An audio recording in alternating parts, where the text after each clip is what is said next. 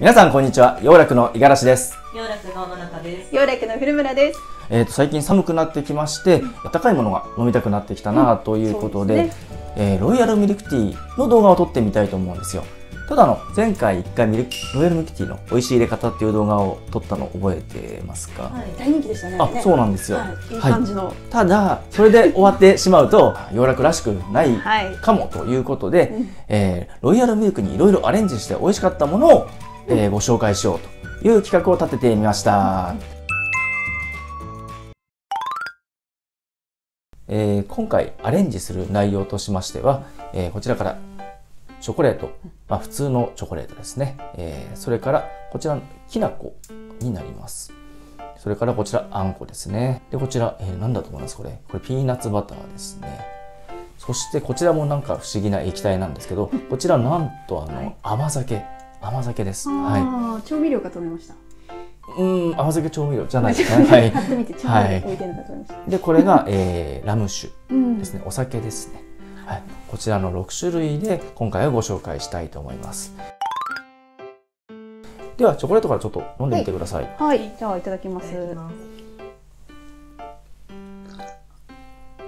美味しいです。美味しいですね。そうですね。はい、定番な感じがします。あのチョコレートの風味もあって、えーそれで、えーお茶の香りも感じられる。はい。という、まあ、どっち戻りという、うんうんうんまあ欲張りな感じの、はい。えーものになります。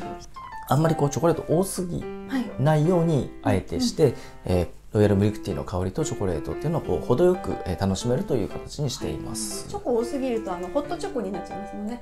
でもホットチョコもまたいいですよね、なのでちょっとなんかこれ匂わせておいて、あまた、ね、またはい。はい、お楽しみというか。この伏線を回収できることを まあ祈って、自ら回収してきまあした。もうガンガン飲んでますね。はい。はい。ごちょっとココアともまた違った感じで面白いですね。確かにもともとこのチョコに甘さがある感じがねいいですよね。そうですね。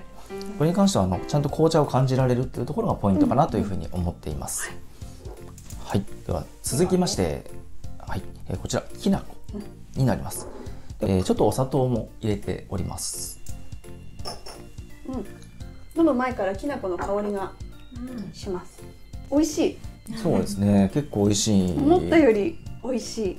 ちなみに今回茶葉はあのアッサムというミルクティーに、えー適したものというかミルクティー好きがよく使う、えー紅茶のアッサムを、えー使っています、えーこちらもまあ美味しいですね。なんかこんなにマッチするんだなっていうようなあそうですね。和風なのにってことですよね、はい、そうですそうです。ちょっと皆さんぜひお家にあったらやってみていただきたい、はい。美味しさ。三つ目は？3つ目はこれは、まあ、あんこですね、はい。まあ、ちょっとこれも和の流れを組むんですけど意外と和のものって合うんですかね？私これすごく好きです。そうなんですね。美味しい。美味しいです。美味しいんですよね。飲み応えプラス食べ応えみたいな。そうですね。あんこが。ちょっと満足感があります。はい。よく混ぜた方がもっと美味しいこれは意外と美味しいいいですね。きな粉もあんこ。も両方入れても美味しいかもって今思いましたあなるほど。あそれいいですね、はい。なるほど。はい。確かに。確かに、はいじゃあ次が、えーピーナッツバターですね。気になってました美味しい。でもこれ意外と美味しいんですよね。ピーナッツバターもそのお砂糖入れるぐらいもともとあっさりしたタイプというか甘ったるいタイプじゃないところがまたいいですね。あそうですね、うんうん。あまりこう甘くなりすぎないというところですね、美味しいです。いろんな種類でやっても甘いやつでやっても美味しいかもしれない。あそのままやってもいい、ね。あ、はい。そうですね。これ甘みなしでお砂糖を足しているので、ん最初から甘みついてるものでやると、お砂糖入れる手間がもういらないかもしれませんね。そうです。次はなんと甘酒。甘酒。はい、まあロイヤルフッチに甘酒ってなかなか考えないですよね。うん。うんはい。香りがすでに甘多分変わった人だと思うんですよ。これを考える人っていうのは。あでも。飲みやすい。はい。あなんかあっさりしましたね。でも甘酒そこまで感じないです。これちょっと作る時に注意だ注意が必要でそして甘酒多めがいいんですよ。うん。なんかミルクティーロイヤルミルクティーだけで飲む時甘酒だけで飲む時どっちにもよらないでなんか綺麗にいいところ。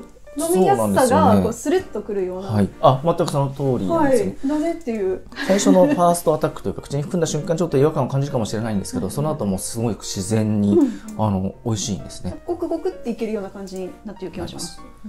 そして、えー今回の最後こちら、えーお酒ラム酒ですね。はい、では飲んでみましょう。大人な味かな。うん。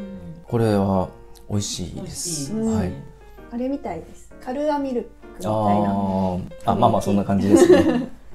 よく紅茶にあのブランデー入れるとかっていう有名な人がいるんですけど、まあ、知らない人は半分だと思うんですけどなので紅茶にブランデーってのは合うんだなっていうのは知ってたんですけど、ミルクティーに合うのかなというのはちょっと知らなかったんですけど、でも飲んでみるとすごい自然なんですよね。はい美味しかったです。ただこれはあの入れすぎないっていうのがえーポイントですね。思ったより少なめでいいと思います、そうあの多分これアルコール普段飲まない方でも美味しく飲めると思うんですよ。普段。どどうですか？全然美味しく飲めます。ふんわりとあの風味だけそのラムの風味が来て、なんか酔う感じではないのでさらっと飲めちゃうからでもいっぱい飲んだら怖いですね。そうですね。でこちらあの、まあ、全部で6種類あったんですけど、まあ、強いて言うならこの中で一番でいうとどれが美味しかったですか？私はもうあんことうーん1個と言ってるのにあんこ糖ってまず糖が続きいて選べないですよ。あんことラム酒が好きラム酒。ああなるほど。うん。どうですか？同じかも。あ。あんこは美味しかったです、なんかチョコレートよりもコクが出た感感じがするんですよ。チョコの方がなんかこうホッとできるような重さが出るかなと思ったんですけどあんこの方が甘さとコクみたいなのが出たのであんこは1位かな。あとはまあどっこいどっこいで全部やっぱり美味しかった、僕は1位が、はい。まあ、ラム酒。大人の。人気です。うん、はい。人気ですね、でもあの意外だったのが甘酒なんですよ。うん。お美味しくないだろうっていうもう最初からあの はい、な飲むんでしかも飲んだ瞬間ってん？って思ったんですけどその後が美味しく感じられたので、うん。それ不思議だなと思いましたね。これなかなか面白かったっていう今回の感想です。皆さんまたちょっと好みがあの違うと思うんですけど、僕個人的には今度やろうやるとしたらあの概要欄にあのレシピとかの設定を置くんですが僕はもう少し紅茶強めにやってみたいなっていうふうにもちょっと思いましたね、うん個人的に。はい、でさっきまあちょっとふ伏線が出たようにちょっとチョコレートでちょっとやってみたいなっていうのとあとはこの実は今回あのちょっと出出さなかったんですけどこの牛乳でやったもちろんロイヤルミルクティーなんですがこの牛乳の代わりにまああ。いろいろ使ってやってみたいなっていうのはちょっと今思いました牛ね乳。だけではなくっていうね。ここもまた伏線をね。はい、できれば、はい、さていかがだったでしょうか、えー、よかったなと。あの役に立ったなと思った方がいらっしゃいましたら、えー高評価いただければと思います。あとあのチャンネル登録ぜひよろしくお願いいたします。ではまた次回の動画でお会いいたしましょう。ありがとうございました。ありがとうございました。皆さんこんにちは もう一回いきますねこのまま続け続けます。このまま続けますねはい。はい、せーの